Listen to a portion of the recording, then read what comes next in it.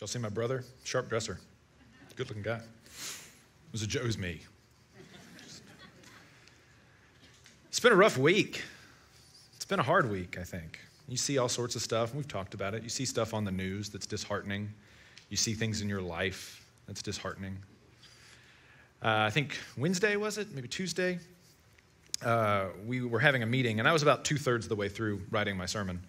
And uh, we had a meeting, uh, some staff members, and we were just talking about how uh, discouraging the week was and how exhausted we were and how we didn't know anymore even what to pray for, really.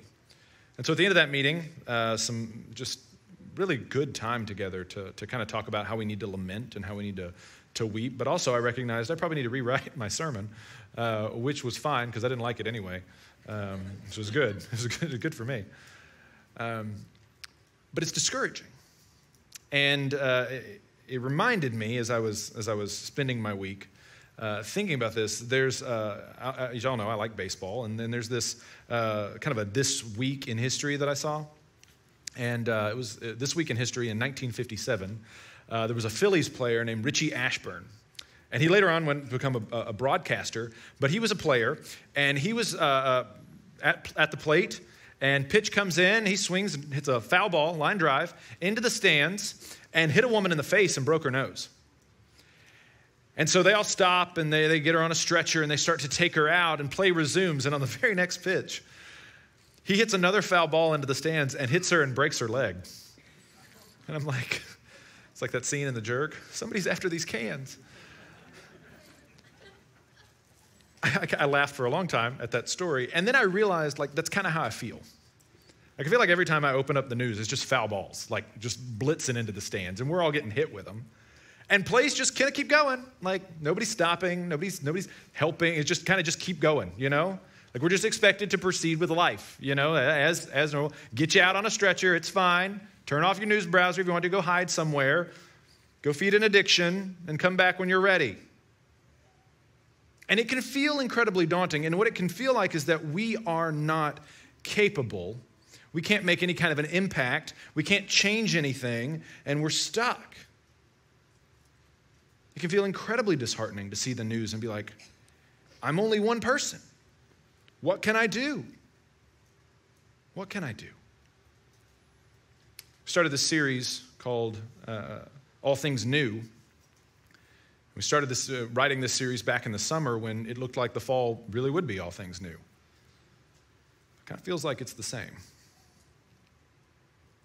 So today we're talking about an all new purpose and I want to look at it a little bit differently. We're in Philippians uh, chapter 1. And this is going to be a larger chunk of scripture, but we kind of I kind of trimmed it down. Because I want to focus on 1 18 to 21. And I want to answer the question how can we make a difference? And not a difference in the world, but a difference in our world, in our area, the people around us. So let's look at verse 18. Yes, and I will rejoice, for I know that through your prayers and the help of the Spirit of Jesus Christ, this will turn out for my deliverance. As it is my eager expectation and hope that I will not be at all ashamed, but that with full courage, now as always, Christ will be honored in my body, whether by life or by death, for to me to live is Christ, and to die is gain. So let's talk about four ways, four ways that Paul mentions here that we can make a difference.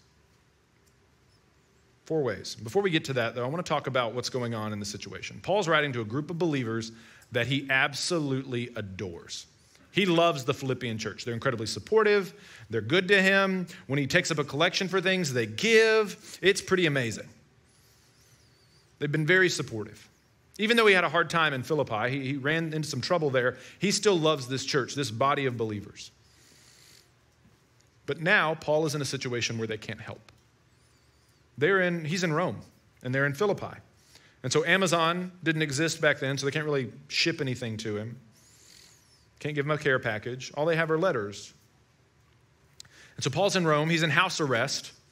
He's imprisoned, and he may never see them again. And they're discouraged. And so, in this little sliver of his message, of his, of his letter to them, they, he's, getting, he's giving them encouragement, saying, No, no, no, no, this isn't a bad thing. This is going to work out, and you guys are still really helpful. You can help me. Look what he says again, verse 19 For I know that through your prayers and the help of the Spirit of Jesus Christ, this will turn out for my deliverance. Now, what does he mean by deliverance? What's he talking about here? Does he mean like I'm going to get out of jail? Probably not. Does he mean that no matter what happens, whether I live or I die, whether I'm executed or whether I'm set free, I'm going to be delivered because Christ conquered death and I'm going to be delivered because that? That's a good interpretation. That's in bounds. But one commentator I read this week that I really liked is Paul is being delivered from fear, anxiety, and worry. Now, what do I mean by that? Well, Paul is the apostle to the Gentiles. His job, his purpose, his mission in life is to go and preach to the Gentiles. Now, he's about to wind up in a court, a Roman court, the capital of the biggest uh, uh, Gentile empire to date at that time. And he's going to wind up in there, and he's he wants the stage, he wants the opportunity to proclaim Christ crucified. And his deliverance is deliverance from fear, anxiety, and worry. Fear that he won't proclaim the gospel, anxiety that he'll soft pedal the gospel because he'll want to try and get out of jail. He's wanting deliverance from those anxieties so he can make the most of the opportunity that he's been given. And he's saying, I think all this stuff is working together to actually set me free from these fears and these worries. He believes that all this is going to work out in the end. He thinks that all of this is going to come together like some perfect plan so that he can proclaim the gospel on the biggest stage he's been given. He's not, he doesn't want to waste this opportunity. And many of us engage and approach our life in the same way. We don't want to waste the opportunities that we've been given. We desire significance, we desire meaning. And all that's fine under the umbrella of Christ.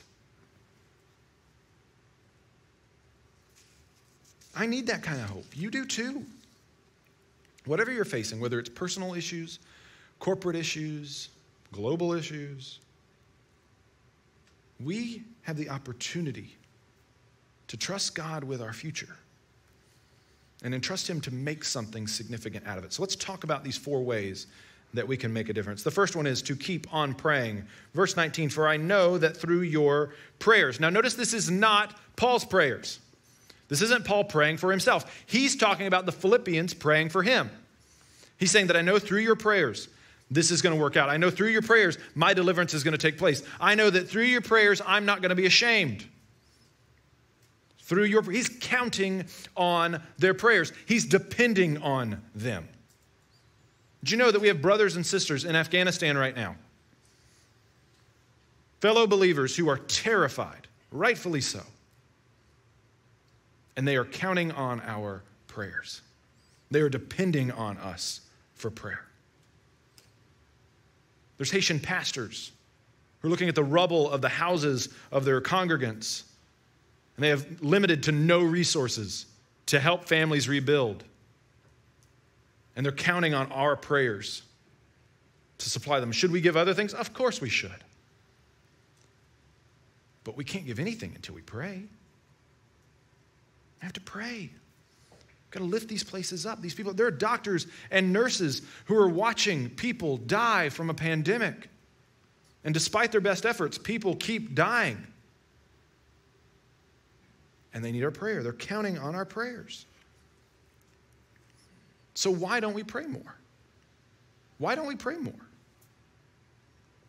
Is it because we think prayer is ineffective?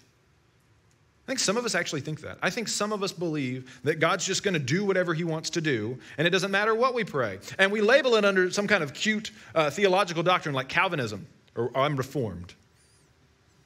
That's not Reformed theology. That's not Calvinism. Calvin was a devout man of prayer, he believed in prayer. What you're talking about isn't Calvinism, it's atheism.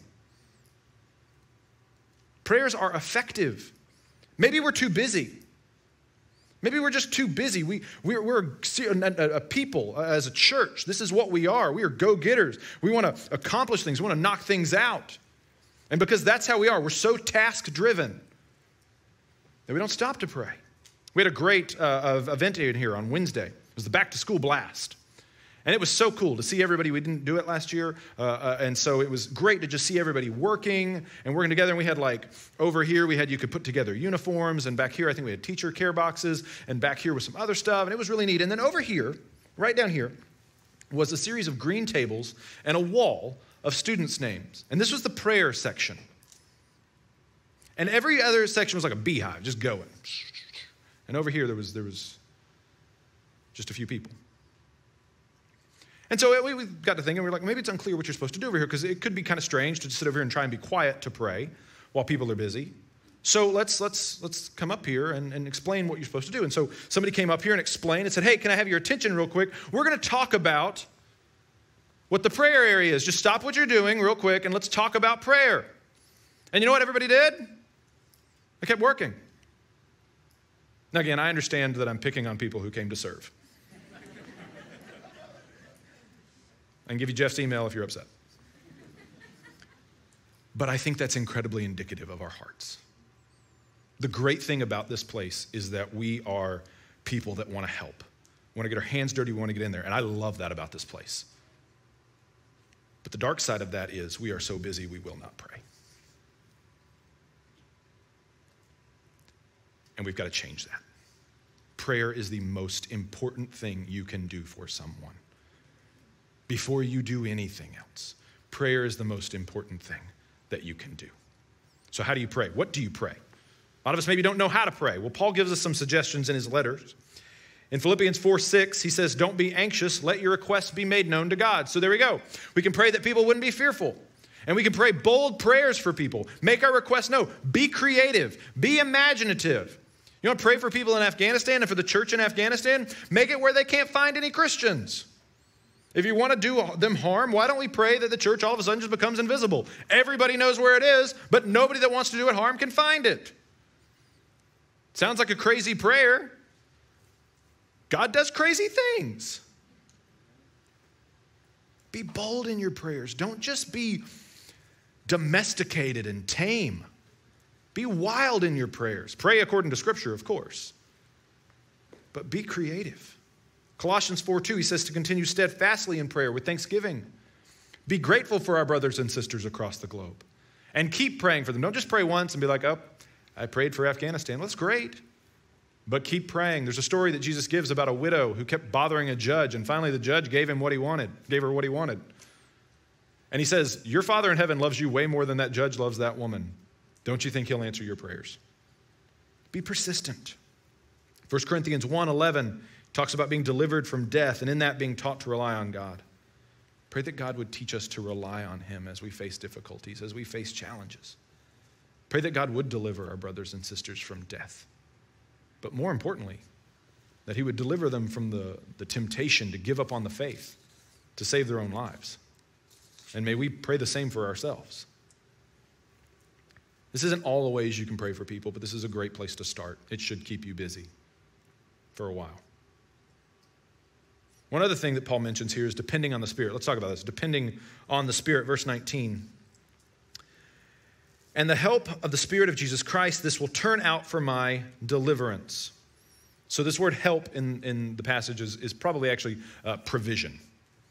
And the provision that Paul's talking about isn't like the Spirit of God providing something. The Spirit of God is the provision. He is the one who is this gift that Paul has been given. And, and, it's the Spirit of God who's empowering. It's the Spirit of God who gives him endurance, gives him encouragement, is going to take this opportunity that he has and make it into something worthwhile. Because what, you, what do you know about Paul?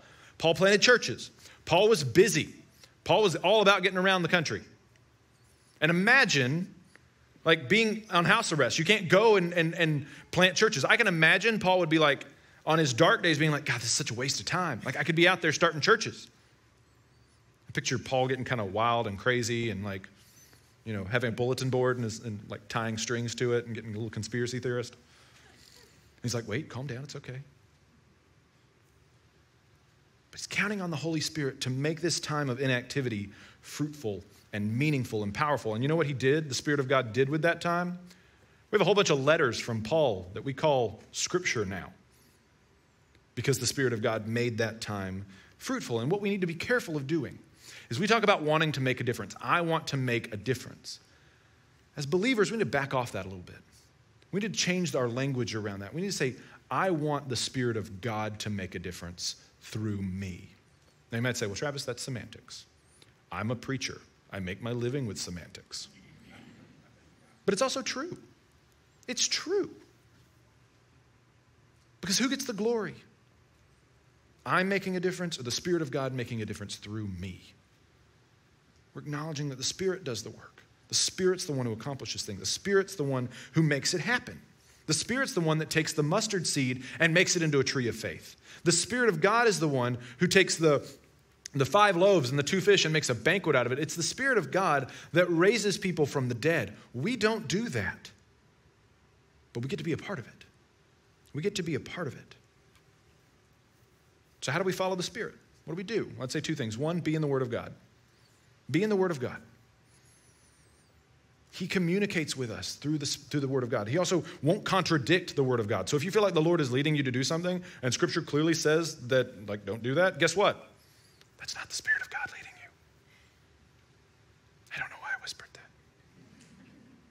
That's true. It's not the Spirit of God. Spirit of God will, will, tell us as we're reading scriptures, you see people uh, run into difficulty and challenges. The more they follow God, it doesn't get easier, it gets harder. You know what the worst day of David's life was? The day he got anointed king. After that, he had to fight giants, go on the run. That was like the worst day ever. Seriously. And a guy dumped oil on your head. Have you ever had oil on you? It's, it's a terrible day. There's an anecdote that I picked up off the internet, which means it's true. And it's uh, one of the things I learned from playing video games is if things get harder, you're going in the right direction. Thank you, Mario, for your help. But it's true. As you encounter more and more challenges, it's a good indication that maybe you're going in the right direction. Maybe you're following the Spirit of God. He's leading you into challenges and difficulties. I don't think the Spirit of God wants us to be comfortable. The other thing we can do is look to see what we're, what's manifesting itself in our lives. Are we manifesting the fruit of the Spirit? Are you showing fruit of the Spirit? Love, joy, peace, patience, kindness, goodness, gentleness, self control. If those things are manifesting themselves in your lives, you're walking with the Spirit. If they're not, maybe that's an indication that you're not following the Spirit. You might be going in the direction He's calling, but you might be going about it the wrong way. So look for those. So we pray, we depend on the Spirit. We're also hopeful and expectant. Verse 20 As it is my eager expectation and hope that I will not be at all ashamed. Paul has this unshakable faith, this certainty that this is going to happen. He's full of hope. Now, this isn't, a, this isn't a wishful thinking. This isn't like a pie in the sky dream. This is something he's certain of. I have wishes and hopes. I hope that my wife wins the lottery and I can become independently wealthy. There's two problems with my hope. One is the odds of winning the lottery to that degree are very small. And two, my wife doesn't play the lottery. So, like, that really reduces our chances. This isn't like that. Paul's talking about something that is certain, that he's determined uh, that's going to happen. He believes, based on Romans 8:28, that he ironically wrote, all things work together for the good of those that love him, who've been called according to his purpose. He knows that all this stuff is coming together like some master plan to create an opportunity that the Spirit of God is going to make a difference through Paul's life and in Paul's life. His success, his future, his failure, uh, the church, None of that rests on his shoulders. That is the shoulders of the Spirit of God working. And so he's full of hope because the Spirit's all powerful. And so when we look at injustice, we look at Afghanistan and Haiti and plagues, we can be full of hope and expectation too. Because even though, yeah, like we want people to make medical breakthroughs and we want uh, good governments in places and, and, and we want uh, uh, houses that can withstand earthquakes, and all of that can be contributed to us by us. At the end of the day, it's the Spirit of God we have to trust. We have to count on Him to do what He's going to do. So, what do you hope for? What are you expecting? Are you expecting comfort? Are you expecting uh, status? Meaning? Because you'll find that, sure. And you'll do everything you can to protect it, but it won't last. But if we hope that Jesus, our Redeemer, our rescuer, is going to change the world. He has already changed the world. Now, one day he's going to take deserts of depression and disappointment and flooded fields of tears and turn them into gardens. Then you won't be disappointed because he doesn't disappoint. So, when confronted with overwhelming, expe- over, overwhelming circumstances, one of the first things you have to do is you have to keep that hope and that expectation alive. because it's one of the first casualties that, that happens when you face a setback. It's disappointment, crushes our hope.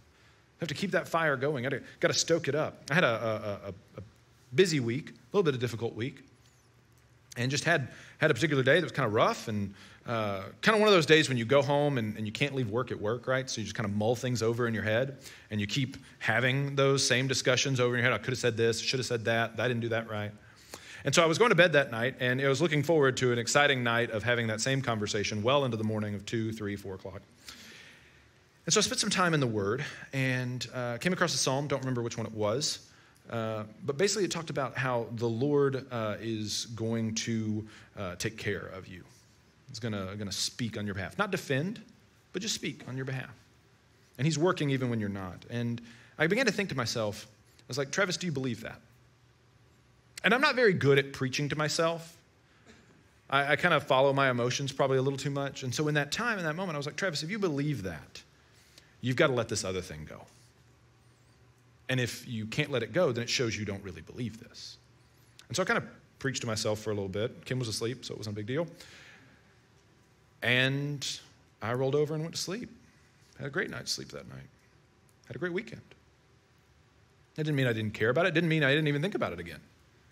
But what it meant was it wasn't dominating because I was trusting the Lord to do something. We have got to preach to ourselves. Our emotions will run away with us all the time. Emotions aren't bad, feelings are good, but they've got to be kept in check. You've got to preach truth to yourself. Go someplace quiet. Go someplace uh, uh, that you, you people maybe aren't going to hear you. Maybe people that will hear you. And just remind yourself of the gospel. Remind yourself what you trust Christ. Uh, remind yourself of times when He has helped you, when He's uh, uh, taken care of you. Trust Him. Preach to yourself. Yell at yourself if you have to. Again, maybe someplace quiet, away from other people. And when all this happens, when all this comes together, this prayer, the depending on the Spirit, this, this hope and expectation, it bubbles over into a thing called worship. And that's the fourth thing worship. Verse 20. But that with full courage now as always, Christ will be honored in my body, whether by life or by death. For to me, to live is Christ and to die is gain. This idea that Christ will be honored, that's worship. That is Paul's primary goal, that's his paramount goal. No matter what he faces, he wants Jesus Christ to be honored, whether he's alive, whether he's dead. That's what it means to live as Christ, is to die as gain. No matter what scenario we're in, whether we're breathing or not, Jesus Christ is glorified. We have hope. And considering we encounter so many uh, daunting trials and difficult places and bad news, shouldn't we keep the worship of Christ paramount? Hey, Travis, how do I, how do, I do that? Like, what, what do I do when, when I'm faced with something I don't know what to do? I don't know how to worship Christ. I'm going to give you one question in two parts. Make this like a reflex in your life. When you encounter some kind of news, whether it's a friend, whether it's something on TV, whatever, two, one question, two parts. What am I good at, and how can I use it to glorify Christ? What am I good at, and how can I use it to glorify Christ? You answer that question, and the Spirit of God will use you immensely. I have a friend of mine who's a good cook. She likes to cook. She had lunch with a friend this week, and her friend was telling her that uh, her, her husband had been diagnosed with some illnesses, and they needed to eat better. And her friend was lamenting the fact that she didn't have time to, to cook any differently right now. So my friend said, Hey, I like to cook. I'll make you some vegetables and I'll bring them to you. What am I good at? How can I help? How am I, what am I good at? How can I help? And there's lots of needs here in our church. There are a ton of needs here in our church. A lot of people, because of the rising COVID numbers, had originally volunteered and they've taken a step back. Totally understand. Get it. Do not feel guilty about that at all. But that means there's some of us in this room, maybe even some of us watching online, who need to step in. We need to serve. Got to volunteer. We sit there and we watch on TV, we, we see a, a mother holding a Haitian child and we're like, oh, I just want to wrap my arms around that family. But you won't go hold a kid down in the nursery. Or we sit here and we, we talk about Afghanistan, we're like, oh, we're worried about the persecuted church. But you won't go over and disciple a student in the student ministry who might one day grow up to be a secretary of state or a diplomat And when she's making negotiations, because somebody discipled her, she's like, I'm going to make sure that religious freedom is talked about. And we're going to have countries that have more religious freedom so that churches can be established. And that becomes her primary goal because somebody discipled her at Park Cities Baptist Church. But you know why we won't do it? It's because we're short sighted. And sometimes we're a little selfish. We're short sighted. We only want the immediate gains. We don't see what Christ can do over 5, 10, 15 years. If you're going to be a worshiper of Jesus Christ, you've got to play the long game. It can't just be the short term. It can't just be the short term. And we are called to worship Jesus Christ. And here's why because our world was created good. Our world was created good. It wasn't meant to be a place where billions of people get chewed up so that millions of people can get rich. It wasn't meant to be a place where disease runs rampant and we can't find hospital beds for people. It wasn't meant to be like that. It wasn't meant to be a place where women are second class citizens for most of human history. It wasn't meant to be like that. It wasn't meant to be like that. It was good. And you know why it was good? Because God made it. And He put Adam and Eve in the middle of it. And they decided that they wanted to run this thing. They wanted the good world, but without God in it. And they ate fruit, and everything kind of collapsed. Sin entered the world, and there was a curse. And you might say, well, Travis, that's really simplistic. Doesn't make it less true. Because we do the same thing. We want the perfect, uh, we want the success. We want to make a difference. We want to make an impact, but we want God out of it. There was a scientist, his name was Alfred Nobel, and he made a thing called dynamite. And he was excited about dynamite. We're going to use dynamite to blast holes in rocks and mines and, and be able to do things faster and make trains across the country. And some other people saw dynamite and was like, hey, we can use that to kill people. And it crushed Nobel. He was sad. So much so that he took the money that he got from dynamite and he made an endowment that we now call the Nobel Peace Prize. And he said, I've become death, the destroyer of worlds. And now we argue about who gets the Nobel Peace Prize. Yeah, I don't like his politics. He shouldn't have gotten that. Poor old Alfred Nobel can't get away from conflict. What are we doing? So we still want to do things without Christ as a part of them. But he deserves our worship. And the reason why he deserves our worship is because he made our world, and rather than just throwing it away when it went wrong, Jesus Christ came to earth. He put on flesh, he dwelt with our infirmities. He dealt with, with what it was like to be human. He watched friends suffer and die. He buried his adoptive father. And then he went to the cross for me and for you to overthrow death, to overthrow evil, because it wasn't going to be overthrown by, by strength, it wasn't going to be overthrown by, by a military action, it was going to be overthrown by sacrifice. That's what he did. Because his sacrifice was accepted, he was raised to life. And then there's a new heaven and a new earth coming. And those people that are, that are the poor, they're now given a place of honor at the banquet table. Women are no longer objects, they are cherished daughters at the table of the king. There's no longer any need for doctors and nurses because the great physician is here. So y'all all get a long vacation. That's the hope we have. And I can't think of a better picture of this than Jerusalem itself. Jerusalem's always in the news. It's like this place of conflict. It always has been, right? Because it's kind of this crossroads of empires. And so everybody just kind of comes to Jerusalem and people fight over it all the time. We fight over it still. Jews and Christians and Muslims, we're all fighting over it. It's not a place of peace. It's like the worst picture of peace you can possibly imagine. So if you're going to paint a picture of a peaceful situation, Jerusalem is probably not the place you want to go. And then you read Revelation, and you read the end of the book. And John says, And I looked and I saw a new Jerusalem coming down from heaven. Like, what a terrible picture of peace. But it's a great picture of peace, and here's why because God doesn't throw things out, He redeems them and He rescues them. And so now Jerusalem becomes a place we all want to go. I want to go to the New Jerusalem so bad. I want Christ to return so bad. This is the hope of believers. We want Christ to return. We want him back. And that's when everything gets fixed. And yes, we should work to progressively make things better. Absolutely. We should try to, to make a difference. Let the Spirit of God make a difference through us. But ultimately, everything gets fixed when Christ returns. And you might sit there and say, well, Travis, that seems a long way off. Maybe, maybe not. Because I have a great aunt. Her name's Catherine. And she's dying of liver cancer. At least we think she is. We just know she's sick and she can't get a, a, a appointment to get an examination because the hospitals are full. But we think she's dying. But a few years ago, Aunt Catherine had a dream. And she dreamed that Jesus Christ told her that she wasn't going to die until he came back. Now, you might sit there and say, well, Travis, that's a little ridiculous. Yeah, maybe. But I hope she's right. Because it doesn't seem like Aunt Catherine has long. And that would be awesome.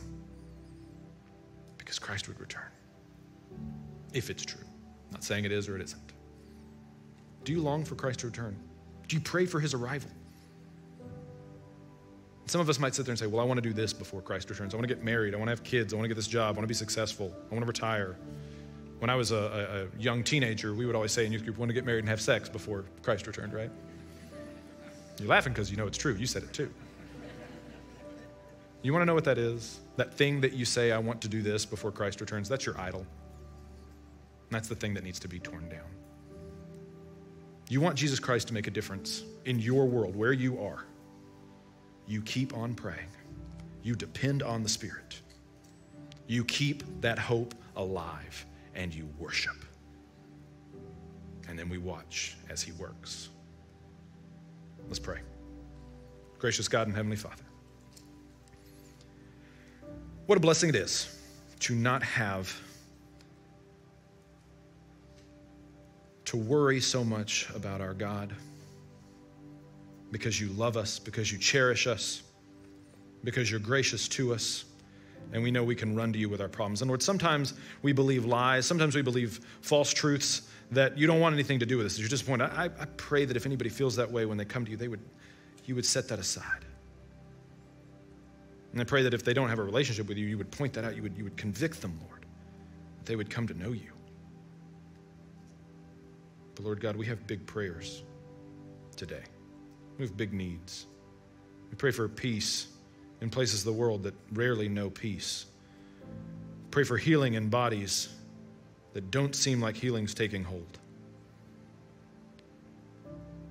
Pray for rebuilding in places that seemingly get hit by disaster after disaster. And those are big prayers. But we know that you can do them. We pray them in faith. And we trust you to work even when it seems like hope is lost. May your name be glorified throughout this world. And Lord Jesus, may you come soon. It's in your name we pray. Amen.